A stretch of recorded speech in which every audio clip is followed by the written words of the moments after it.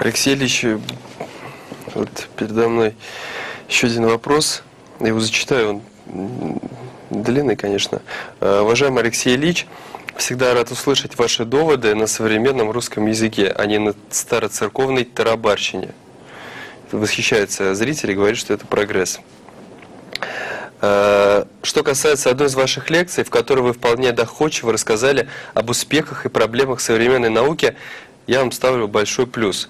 Но беспокоюсь, что после такой лекции многие ваши семинаристы с радостью убегут в науку, которая не стоит на месте, а всегда в поиске. И вот тут зритель говорит, что если бы вы повторили свою лекцию первому апостолу, они бы вас раньше Христа отослали бы на Голгофу. Это из письма вашего постоянного зрителя Валерия Трубицына из Санкт-Петербурга. И вот он задает вам вопрос в связи со, со всем этим. Как православие относится к неандертальцам? Ведь они произошли не от Бога, а, как доказано наукой, от обезьяны. Как вы это объясните? Да. Вот такие каверзные вопросы вам задают. Да нет, это вопросы не каверзные. А здесь некоторые, ну, я бы сказал, смешение разных вещей.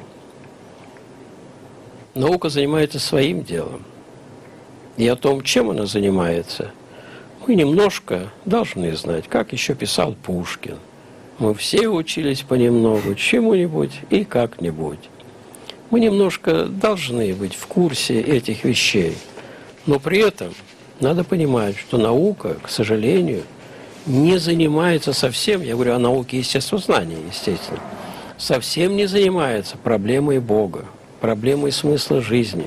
Более того, и это самое печальное, о чем хочется упомянуть, что наука решительно протестует против каких-то нравственных ограничений в своем исследовательском пафосе считаю, что нравственные ограничения, они будут препятствовать развитию науки. Это очень печально. Поэтому, поэтому могут проводились и уже проводятся такие подчас испытания, которые могут привести к самым печальным последствиям.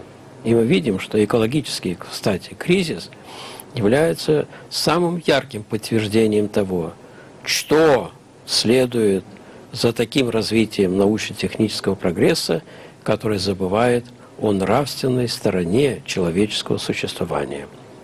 Ну, а в отношении неандертальцев, скажем так, во-первых, ничего не доказано. Проблема происхождения там и человека, и тех же неандертальцев остается проблемой.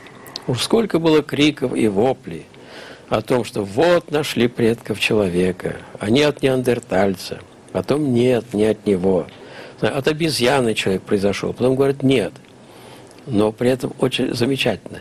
Нет, если бы от обезьяны, все-таки какой-то уровень обезьяны, так? Говорят, нет, от предков общих с обезьян, то есть еще ниже даже.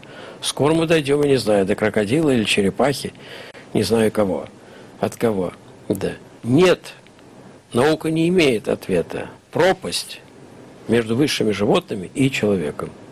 Когда Чарльз Дарвин написал свое происхождение видов, то э, один его друг, закадычный друг Уоллес, э, написал ему записочку.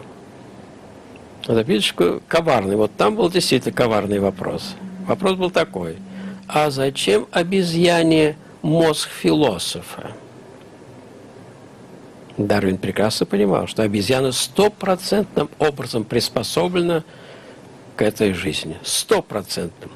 Более того, она больше, чем человек приспособлен. Она может пройти по канату себе спокойно, над любой пропастью. А у человека тоже головка закружится. Зачем? Бедный, тот не знал чего, написал только «нет».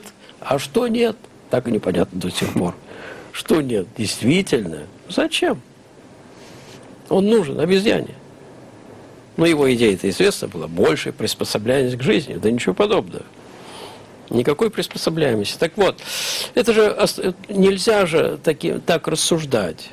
Из, из x выводить y. Мы не знаем, откуда эти неандертальцы. По крайней мере, современная наука, по крайней мере, ну, кажется, насколько я в курсе, что ли, то утверждает, что именно человек, как Homo sapiens, он произошел где-то, ну, порядка 30 ну, тысяч лет, может быть, тому назад. А уже неандертальцы, во-первых, не ясно, кто это были, люди или не люди. да, какими свойствами они обладали.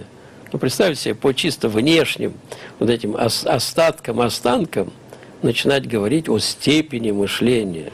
Ну, что за логика? Вот поэтому из X Y выводить нельзя. Спасибо, Алексей Ильич. Уважаемые, уважаемый Алексей Ильич, уважаемые зрители, мы прервемся на 30 минут, а затем продолжим нашу беседу.